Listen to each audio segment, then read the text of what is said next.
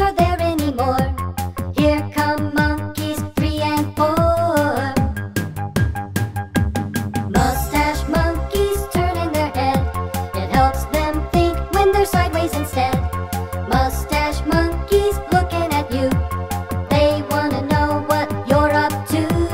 Mustache monkeys looking deep into your eyes. If you don't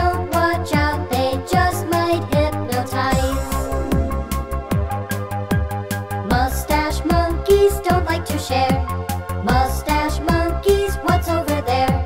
Mustache monkeys, you won't believe this. One of them is trying to give you a kiss. Mustache monkeys, looking deep into your eyes. If you